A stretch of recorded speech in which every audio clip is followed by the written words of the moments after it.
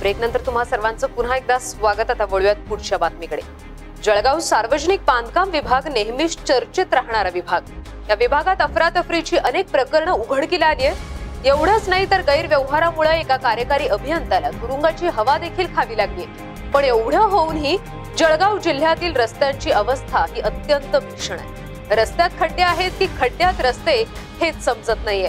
संपूर्ण जिल्ह्यात खड्डेमय रस्त्यांनी दुरावस्था झाली आहे. मात्र सर्वसामान्य नागरिकांना मात्र अनेक अपघातांना सामोरं जावं लागतंय. वर्षभरात अपघातात अनेकांना जीवही गमवावा लागलाय तर अनेक कायमचे जायबंद झाले. विश्वास बसत नसेल तर तुम्हीच ऐका जळगावकरांचं नेमकं काय म्हणणं आहे? पौर आणि जळगाव या रस्त्याची अवस्था अत्यंत बिकट आहे. गेली दोन वर्षापासून हा रस्ता आहे त्या स्थितीमध्ये आहे. या रस्त्याचं काम कधी पूर्ण होईल असं येथील नागरिकांची इच्छा व्यक्त करते. आपल्यासोबत काही व्यावसायिक पण आहे नागरिक आहेत. आपण विचारूया नेमकी काय अवस्था आहे. नमस्कार. काय अवस्था आहे नेमकी रस्त्याची? असं एकदम खड्डे पडले. त्याच्यामुळे पाठीचे त्रास त्याच्यामध्ये गुडघे दुखणे डोकं दुखणे याच्यामुळे फुफुटा हा जास्त त्रास होतोय. त्याच्यामुळे कमरेचा त्रास वाढला आहे गाड्यांचं टायर फुटत आहे परत अ, गाड्याची सोय नाही राहत. किती वर्षापासून हा रस्ता? दोन वर्षापासून हा रस्ता असायचे कंप्लीट नेमकं काय झालं या रस्त्याचं कामाचं काय झालं? त्याचा ठेकेदार बदलल्यामुळे पहिला जो ठेकेदार होता ऋतिकवाला तो पळून गेला. त्याला परवडलं नसेल पण नंतर दुसरा ठेकेदार त्या- आला आणि आता समजा दोन चार आठ दिवसापासून हा रस्ता पूर्वरित चालू आहे. उर्वरित काम चालू आहे. एकंदरीत दोन वर्षापासून हा रस्ता असा पडलेला आहे ठेकेदारच्या याच्यामुळे. तर आज आणखीन काही नागरिक आपण त्यांना विचारूयात नेमकं काय परिस्थिती. काय बाबा काय तुम्हाला काय समस्या? जिल्ह्याच्या गावाला जायला काय समस्या पंचवीस वर्षापासून मागणी करतोय सगळ्यांना आम्ही. सगळे राजकारत्यांना बोललो आणि कार्यकर्त्यांना सगळ्यांना बोललो पण कोणी करत नाही आमची दक्षता. शाळेच्या मुलांना एवढा त्रास होतोय. अक्षरशः आमच्या गावाचे दोन मुलं वाहत होते पण आमच्या गावातल्या यांना पकडले.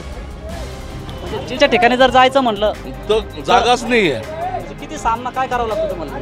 नाही सामना म्हणजे जाताच येत नाही नदीमधूनही जाता येत नाही इकडून नाला आहे त्याच्यामुळे बी जाता येत. आता एकदम खराबच झाला याला किती वर्षापासून आता दोन वर्षापासून खराब झाला आहे तो आमच्या भावना एकच आहे जे ते कॉन्ट्रॅक्टरने रस्ता करणं रस्ता करायचा होता तर एक साईड तरी व्यवस्थित करायला पाहिजे होती. त्याने दोघी साईड खंदून टाकलेली आहे. म्हणजे जेणेकरून दोघी साईडने जाता येत नाही. आज र- रस्त्यामध्ये एवढाले गड्डे पडलेले. तेवढ्या गड्ड्यातून गाडी कसं काय जाणार? छोटी गाडी असली आल्टोसारखी गाडी तिच्या खालून चेंबरला लागतं आहे एवढे खड्डे आहे. आणि जे ठेकेदार आहे त्यांनी तरी आता उर्वरित कामाची सुरुवात लवकरात लवकर करावी. कारण की फक्त भवानी पाटा ते माळपिंपरी फक्त तीन किलो तीन किलोमीटरचाच रस्ता झाला आहे तोही एक साईड झाला आहे आणि जो एक साईड होता तो पावसामुळे खराब होऊन आज तिथे गाड्या फसता येते एकंदरीत हा पासून जळगाव किती किलोमीटरचा अंतर? तीस किलोमीटरचा रस्ता म्हणजे ने नेरेपासून जो खणलेला होता तो सगळा वीस किलो वीस बावीस किलोमीटर रस्ता खराब आहे आणि जो पुढचाही आहे म, बारा तेरा किलोमीटर जो काय उरतोय तोही सर संपूर्ण रस्ता खराबच आहे.